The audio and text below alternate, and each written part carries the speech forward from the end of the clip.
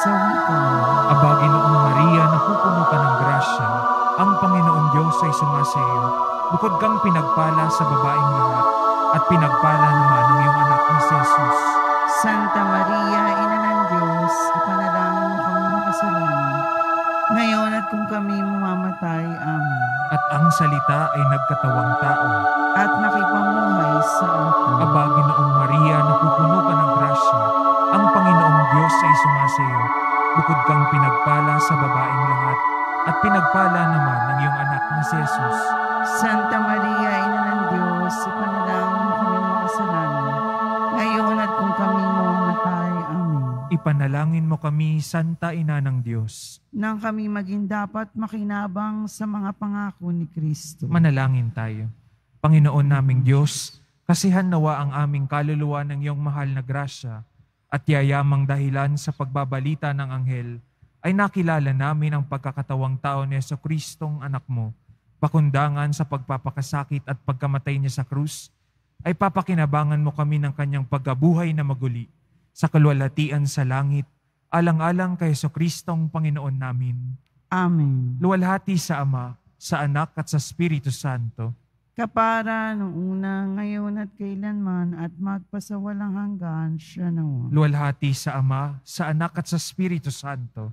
Kapara nung una, ngayon at kailanman at magpasawalang hanggan siya nawa. Luwalhati sa Ama, sa Anak at sa Espiritu Santo.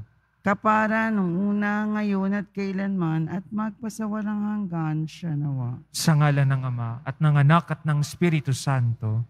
Amen.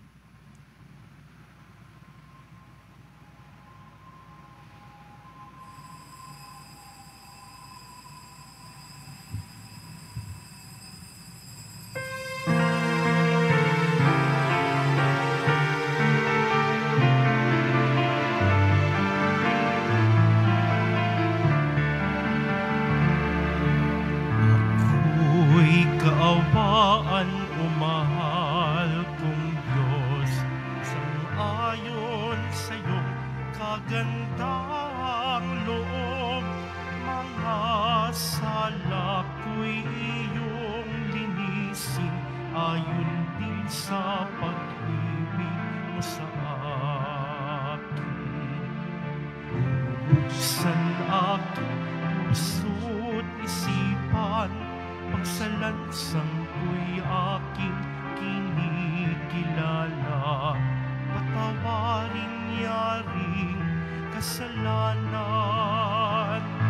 Ako'y kaawaan umahal kong Diyos Sang-ayon sa iyong kagandang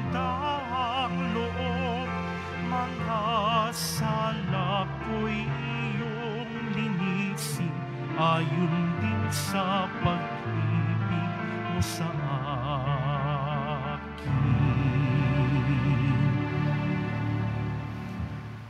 Sa ngala ng Ama, ng Anak at ng Espiritu Santo, Amen. sumainyo ang Panginoon. At sumayo rin. Mga kapatid, aminin natin ang ating mga kasalanan upang tayo maging marapat gumanap sa banal na pagdiriwang.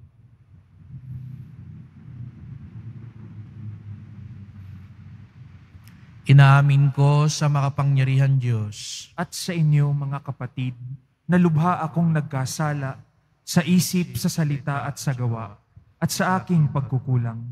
Kaya isinasamo ko sa mahal na Birheng Maria, sa lahat ng mga anghel at mga banal, at sa inyo, mga kapatid, na ako'y ipanalangin sa Panginoong ating Diyos. Kawan tayo na makapangyarihan Diyos, patawarin tayo sa ating mga kasalanan at patnubayan tayo sa buhay na walang hanggan. Amen. Panginoon, kaawaan mo kami. Panginoon, kaawaan mo kami. Kristo, kaawaan mo kami. Kristo, kaawaan mo kami. Panginoon, kaawaan mo kami. Panginoon, kaawaan mo kami. Manalangin tayo.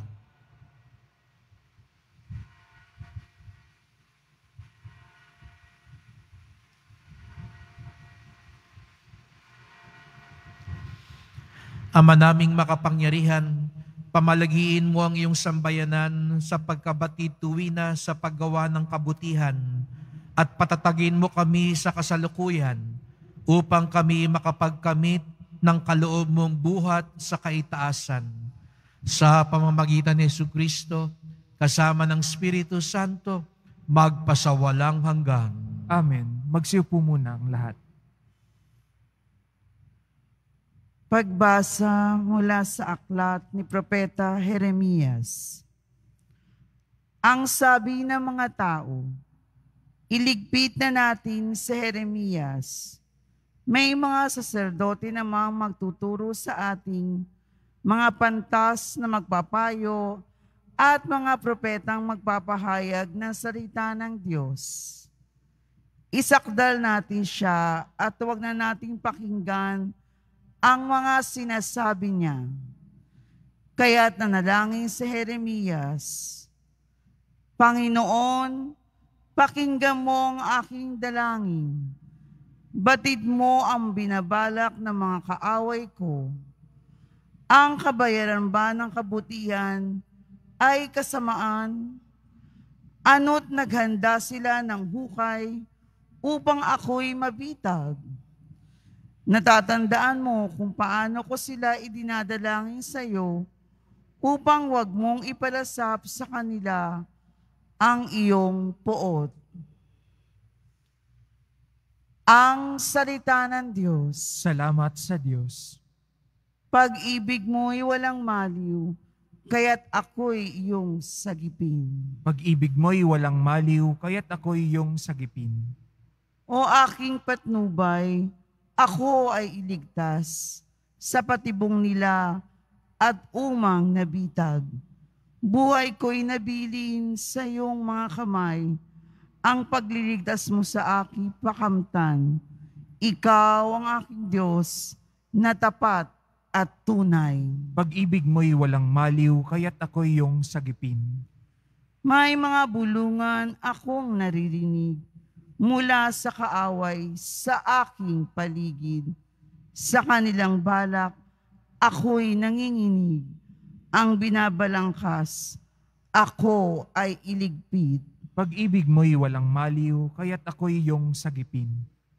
Ngunit Panginoon, ang aking tiwala ay nasa iyo, Diyos na dakila. Sa iyong kalinga, umaasa ako. Laban sa kaaway ay ipagtatanggol mo at sa umuusig na sinumang tao. Pag-ibig mo'y walang maliw, kaya't ako'y iyong sagipin. Magsitayo na po ang lahat.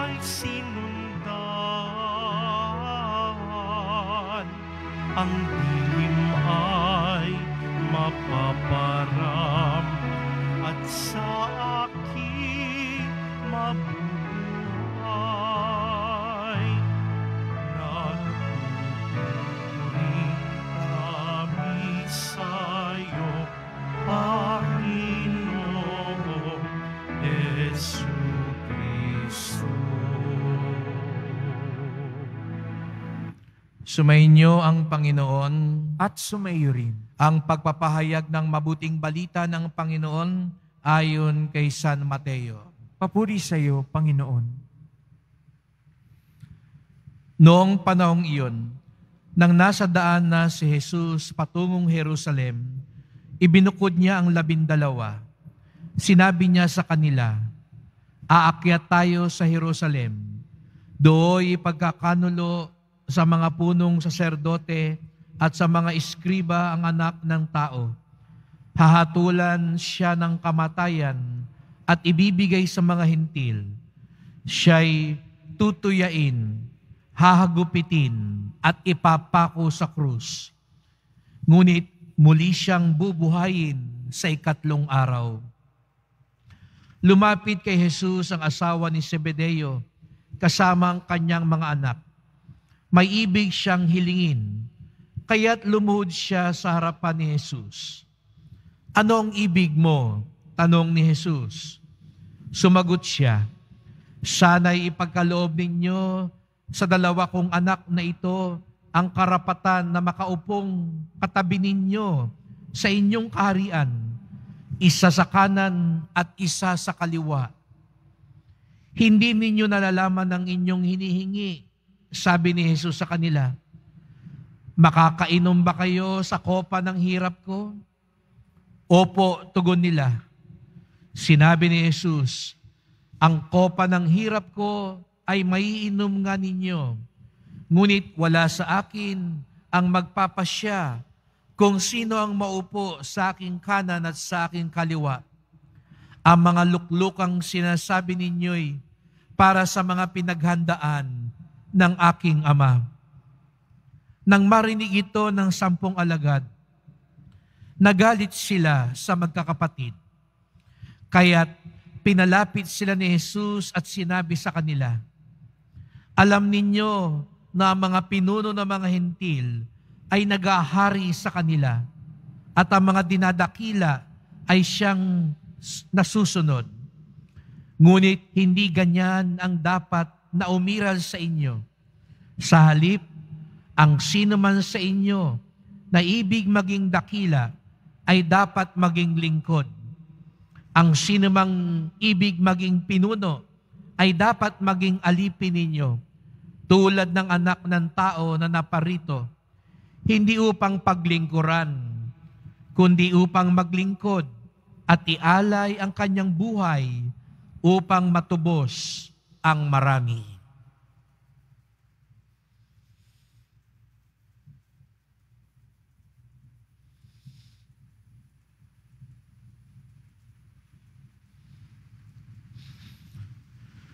Ang mabuting balita ng ating kaligtasan. Pinupuri ka namin, Panginoong Heso Kristo. Magsiupo muna ang lahat. Gandang umaga po sa inyong lahat at maligayang pagdating sa tahanan ng ating mahal na pong Jesus Nazareno. Binabati din po natin ang mga kasama natin online, lalo na po ang mga may sakit at ang mga nag-aalaga sa may sakit at mga kababayan natin, mga kadeboto natin mula sa iba't ibang panig ng bansa at daigdig na nais sumama sa pagdiriwang ng banal na misa dito sa ating simbahan sa Quiapo. Patuloy tayong naglalakbay ngayong panahon ng Kwaresma. Patuloy tayong sumusunod kay Jesus patungong Kalbaryo, patungong Jerusalem.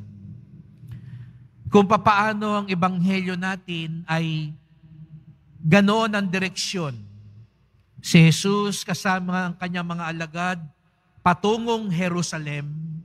Sana'y makita din natin ng ating mga sarili, mga alagad ni Jesus sa Sareno, na sumasama sa Kanya, sumusunod sa Kanya, patungo din sa mga Jerusalem at Kalbaryo ng ating mga buhay. At dito makikita natin mga kapatid na ang krus ay hindi isang biglaang pangyayari sa mga alagad ni Jesus. Maririnig natin na ilang ulit sinabi ni Jesus Nazareno na siya'y mamamatay, mahihirapan, haharap sa krus. At ito'y ipinamukha niya at ipinaalala niya sa kanyang mga alagad na sila din kailangan magbata, magpasa ng krus.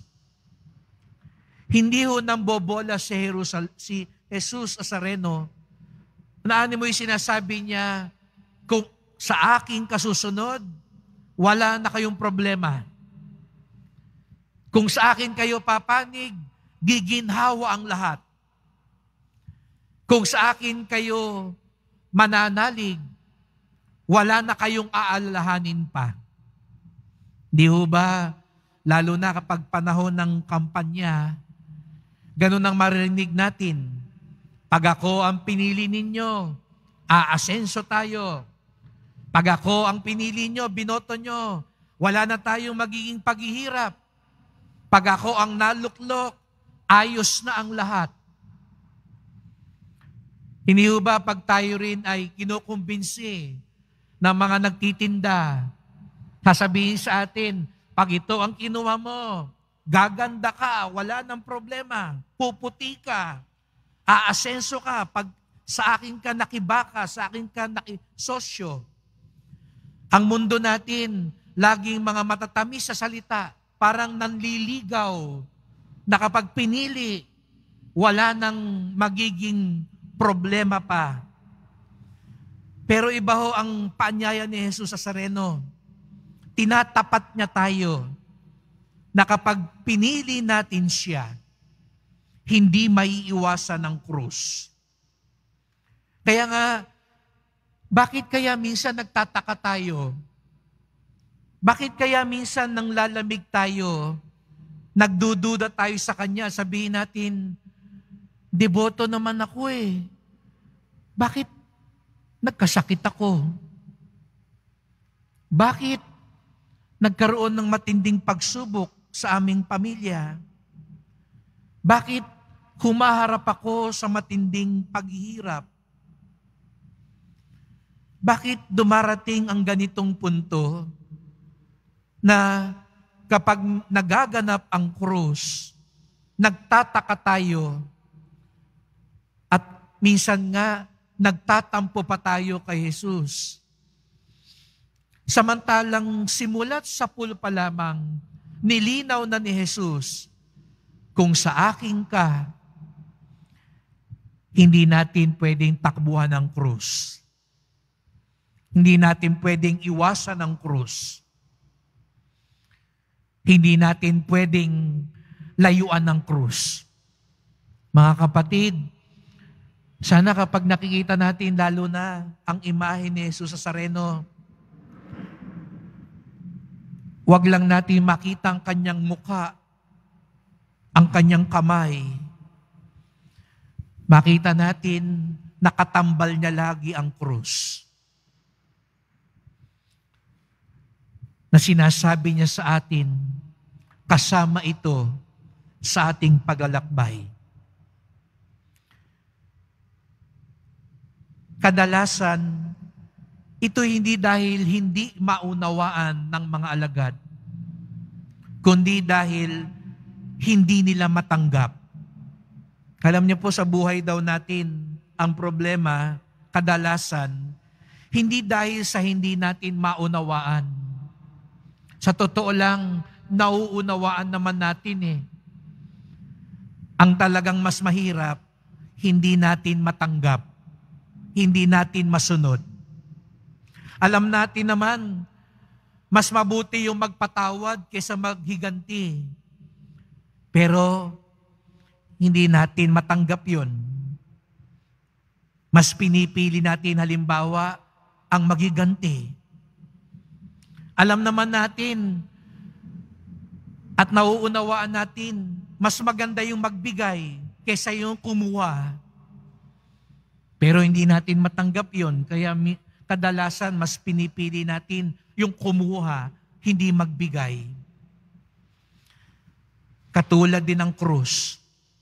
Kaya nakita nyo sa Ebanghelyo, Kasasabi pa lang ni Jesus sa Sareno tungkol sa krus, ano na ang pinag-usapan ng mga alagad? Sino maluluklok sa kanan? Sino maluluklok sa kaliwa? Siguro minsan napapakamot na lang din si Jesus sa Sareno na sinasabi niya, kailan kaya mat- matatanggap ng mga alagad ko ang daan ng krus? Pinag-uusapan ng kadakilaan ng pagbibigay ng sarili. Ang susunod na usapan, sino ang dapat mauna? Pinag-uusapan ang kagandahan ng pagpapakababa. Anong susunod na usapan? Sino ang dapat mas mataas? Kasasabi pa lang ni Jesus sa Sareno, dapat tayo maglingkod sa lahat ano ang susunod na usapan? Sino ang dapat na pinuno? Lagi tayong inahatak ng mundo. Di ba sabi ko nga sa inyo kahapon, sinabi ni Jesus sa Sareno, ang kadakilaan ng Diyos, iba ang sinasabi ng mundo kung ano ang kadakilaan.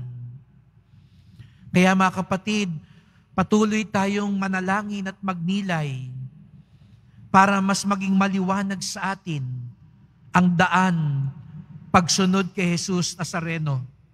Lalo na kapag dumarating ang mga krus sa ating buhay. Kaya nga itong panahon ng Kwaresma, sabi ko nga kanina, ay isang paglalakbay patungo sa Kalbaryo, patungo sa Jerusalem, patungo sa krus. Kapag dumating ang sandali sa ating buhay, kailangan nating pasanin at tanggapin ang krus. Huwag sana tayo magtaka. Dapat nga magalak tayo. Dapat nga makita natin kapag dumating ang krus, ito ang pagkakataong lalo tayong makakatulad kay Jesus. Lalo tayong matuturuang mag-ibig umibig at magpakumbaba.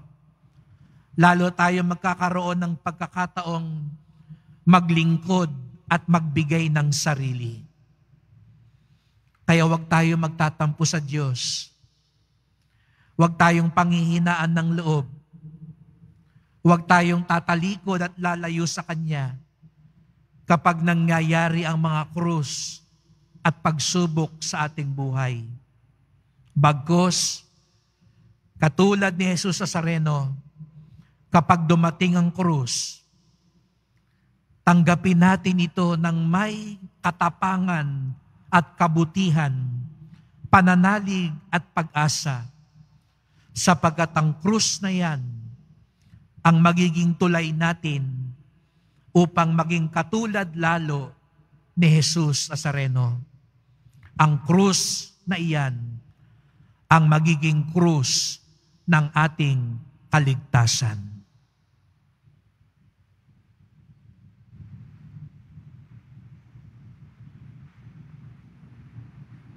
Magsitayo na po ang lahat.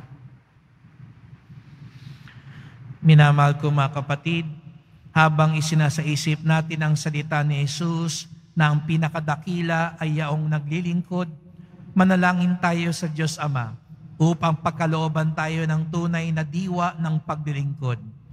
Ang ating tugon, Panginoon, gawin mo kaming mga tunay na lingkod. Panginoon, gawin mo kaming mga tunay na lingkod. Ang mga pinuno ng simbahan, naway maging mga tunay na lingkod na kumikilos na may malasakit, na katulad ng ipinakita ni Jesus sa kanyang mga alagad Manalangin tayo. Panginoon, gawin mo kaming mga tunay na lingkod.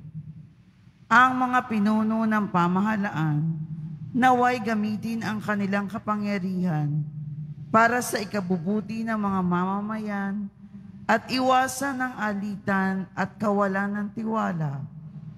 Manalangin tayo. Panginoon, gawin mo kaming mga tunay na lingkod. Atin nawang maunawaan na sa mata ng Diyos, hindi sinusukat ang tagumpay sa pamamagitan ng pamantayan ng mundo, kundi sa paggalang sa ating kapwa. Manalangin tayo. Panginoon, gawin mo kaming mga tunay na lingkod. Ang mga may sakit, naway maunawaan na ang kanilang pagdurusa ay maaaring maging isang biyaya kung ito ay tinitiis bilang pakikiisa kay Kristo. Manalangin tayo. Panginoon, gawin mo kaming mga tunay na lingkod. Tahimik nating idalog ang iba nating kahilingan.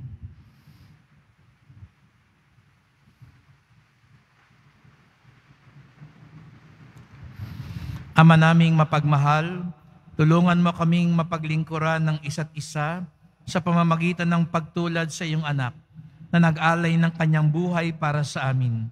Hiniling namin ito kay Kristong aming Panginoon. Amen. Magsiupo muna ang lahat. Sa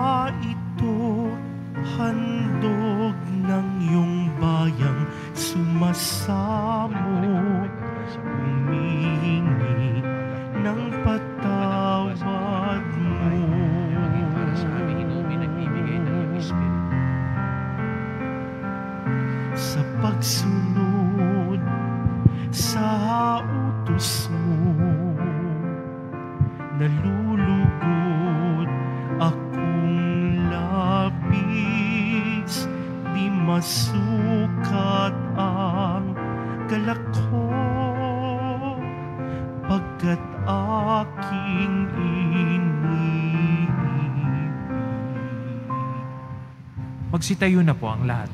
Manalangin kayo mga kapatid upang ating paghain ay kalugdan ng Diyos amang makapangyarihan.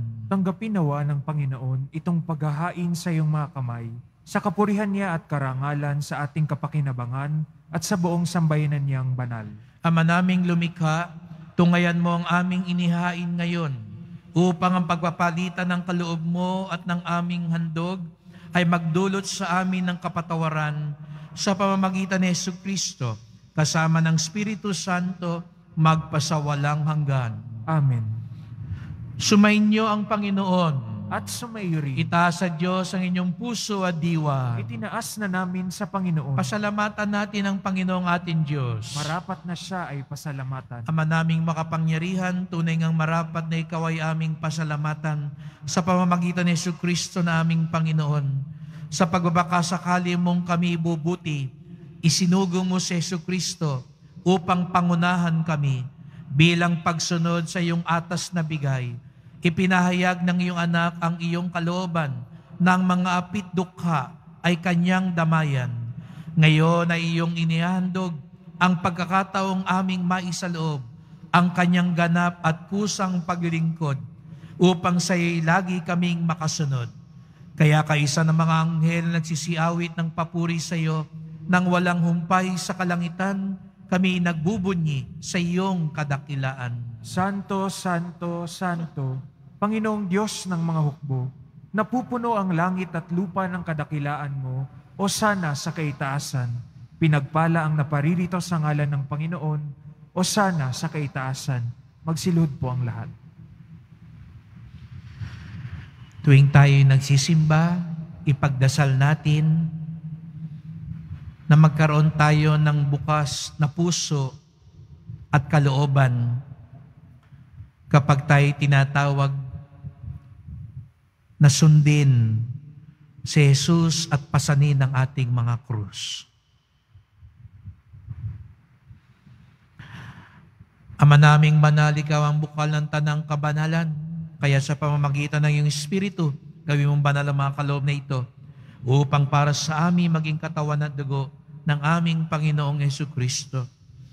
Bago niya pinagtiis ang kusang loob na maging handog, hinawakan niya ang tinapay, pinasalamatan kanya, pinaghati-hati niya iyon. Iniabot sa kanyang mga lagad at sinabi, Tanggapin ninyong lahat ito't kanin. Ito ang aking katawan na ihandog para sa inyo.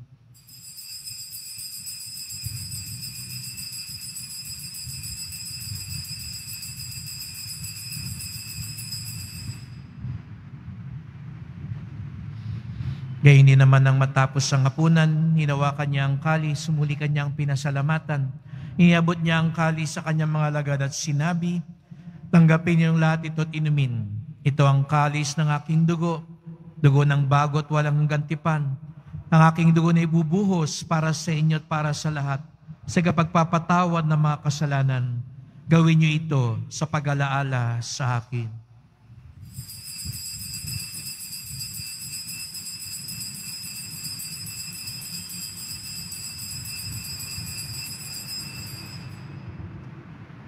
Magsitayo na po ang lahat. Ipagbunyi natin ang misteryo ng pananampalataya. Si Kristo'y namatay, si Kristo'y nabuhay, si Kristo'y babalik sa wakas ng panahon. Ama, ginagawa namin ngayon ang pag-alaala sa pagkamatay at muling pagkabuhay ng iyong anak. Kaya tinalay namin sa iyo ang tinapay nagbibigay buhay at ang kalis na nagkakaloob ng kaligtasan. Kami nagpapasalamat dahil kami yung minarapat na tumayo sa harap mo para maglingkod sa iyo. Isinasamo namin kaming magsasalo-salo sa katawan at dugo ni Kristo ay mabuklod sa pagkakaisa sa pamamagitan ng Espiritu Santo. Ama, lingapin mo ang iyong simbahang laganap sa buong daigdig.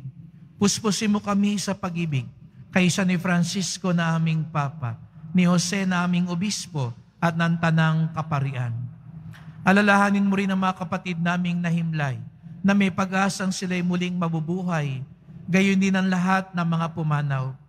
Kawan mo sila at patuloyin sa iyong kaliwanagan. Kawan mo pagindapating kaming lahat na makasalo sa iyong buhay na walang wakas. Kaysa na mahal na Birheng Maria na ina ng Diyos, ng kabiyak niyang pusong si San Jose, ng mga apostol, ni San Juan Bautista, at lahat ng mga banal na namuhay dito sa daigdig ng kalugod-dugod sa iyo may pagdiwang nawa namin ang pagpupuri sa ikararangal mo sa pamamagitan ng iyong anak na aming Panginoong Heso Kristo.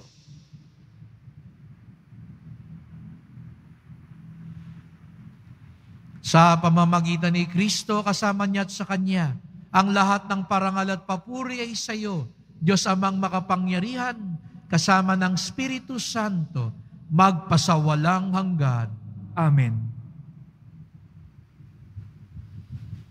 Sama-sama tayong tumawag sa ating Ama sa langit.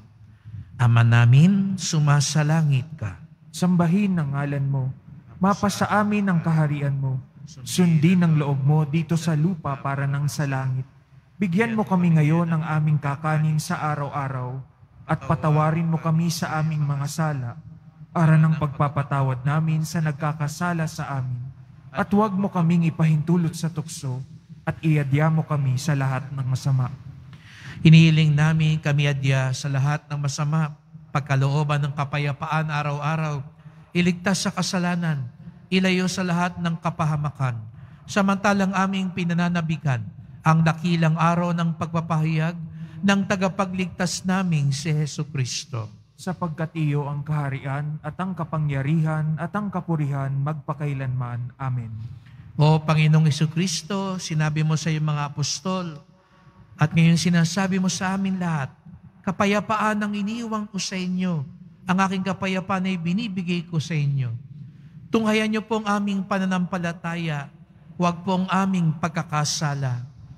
Patawad po, Panginoon, kapag kami nagdududa sa iyong pag-ibig at kapangyarihan, kapag kami humaharap sa pagsubok, at krus sa aming buhay. Patawad po kung tinatalikuran namin at iniiwasan namin ang mga krus na inaalok mo sa amin. Linisin niyo po kami, Panginoon. Pagkalooban niyo po kami ng kapayapaan at pagkakaisa ayon sa iyong kalooban, kasama ng Espiritu Santo, magpasawalang hanggan. Amen. Ang kapayapaan ng Panginoon ay laging sumainyo. At sumayo rin. Magbigayan tayo ng kapayapaan ni Kristo sa isa't isa.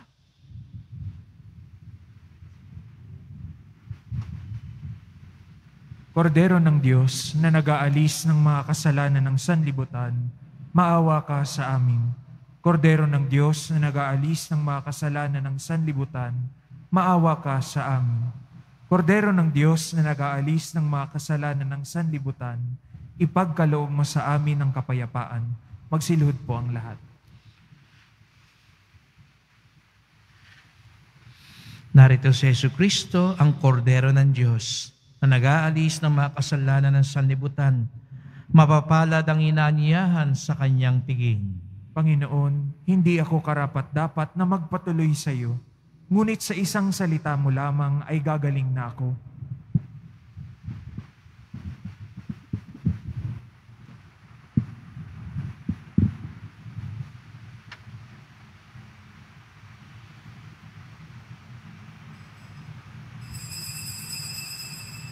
Para sa lahat ng tatanggap ng banal na komunyon, ang tamang paraan ng pagtanggap ay kaliwang kamay sa ibabaw ng kanang kamay. At sasagot po tayo ng amen pagkasabi ng pari o lay minister ng katawan ni Kristo at isubo sa bibig bago umalis sa harapan ng pari o lay minister. Sumunod po tayo, maraming salamat po.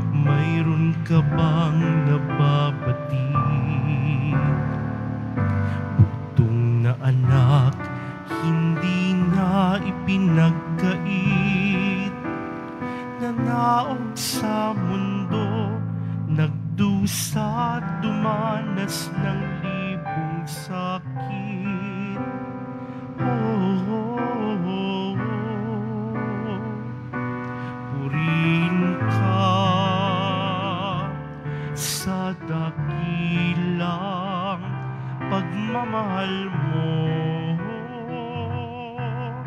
kahit bayaran ka sapat ito upang ibalik ang dugong itinigis ng iyong anak para sa akin.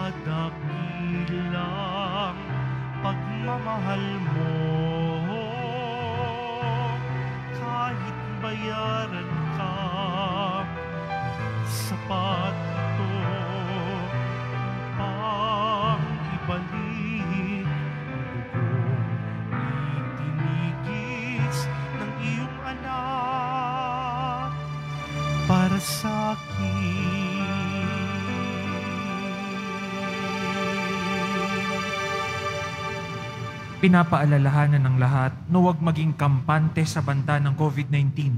Bagkus dapat natin ipagpatuloy ang tamang pagsunod sa minimum public health standards, pagsusuot ng tamang face mask. Pagkatapos ng misa, wiwisikan po ang lahat ng banal na tubig. Pinakikiusapan ng lahat na manatili lamang muna sa inyong mga lugar. Tanging sa Quezon Boulevard o sa Plaza San Juan lamang ang labasan ng lahat.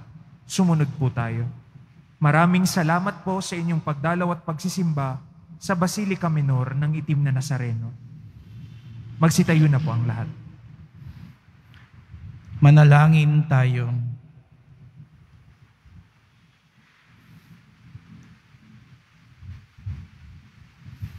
Ama naming mapagmahal, niloob mong kami magsalo-salo sa piging ng muling pagkabuhay ng anak mo. Ito naway aming pakinabangan sa pagkakamit namin ng walang maliw na kaligtasan sa pamamagitan ni Yesu Kristo kasama ng Espiritu Santo magpasawalang hanggan. Amen. Maraming salamat po sa inyong pagpunta dito sa ating simbahan, sa inyo pong tulong sa mga pamisa, love offerings, online donations, sa mga nagdadala dito ng bigas, delata, mga pang-ayuda sa ating mga kapatid na nasalanta at nangangailangan. Ang ating debosyon sa poong Nazareno ay hindi lang masusukat sa dasal, kundi inilalapit tayo sa misyon, lalong-lalo na sa pagmamalasakit at pagtulong sa ating kapwa. Ang ating debosyon sa poong Nazareno ay nagtuturo sa atin na tanggapin, yakapin at pasanin ang krus sapagkat sa pagkakataong ito, lalo tayong nakasusunod at tumutulad kay Jesus Nazareno.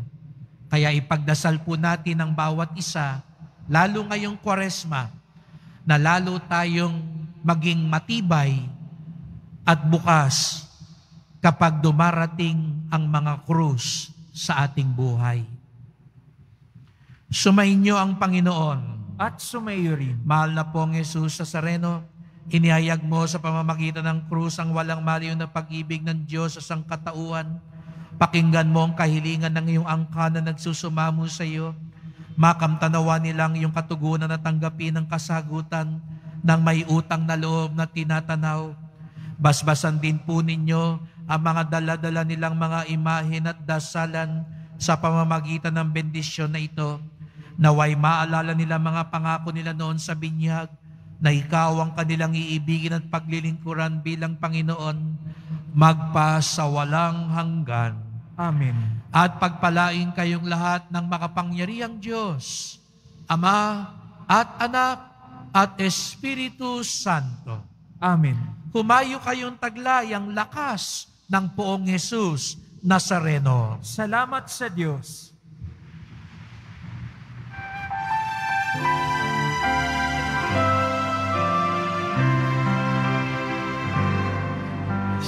Padre Jesus Nazareno, sinasamba ka namin. Pinipinto ka namin. Aral mo ang aming buhay at kaligtasan. Gusto Padre Jesus Nazareno, iligtas mo kami sa kasalanan.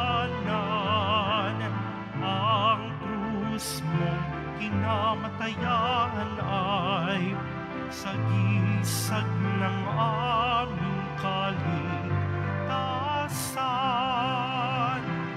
Nuestro Padre Jesus Nazareno, dinarangal ka na.